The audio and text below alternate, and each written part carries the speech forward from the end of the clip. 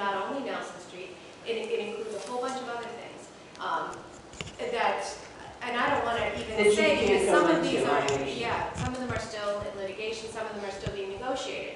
It's, it's not anything that, you know, that anyone would have wished for, but it is the situation we find ourselves in. And Mrs. Ford is quite correct, that if someone tells you they can wave a magic wand and make this go away, perhaps even someone who, I don't know, might be running for